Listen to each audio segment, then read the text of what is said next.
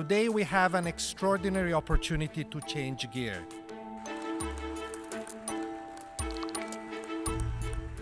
It fills what has been a perennial gap in the international protection system, that of truly sharing responsibility for refugees in the spirit of the United Nations Charter.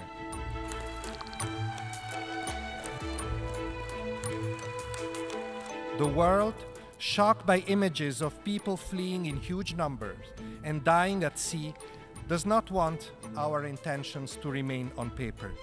It demands practical action and results so that forced displacement can be managed in a principled manner and resolved with courage and vision.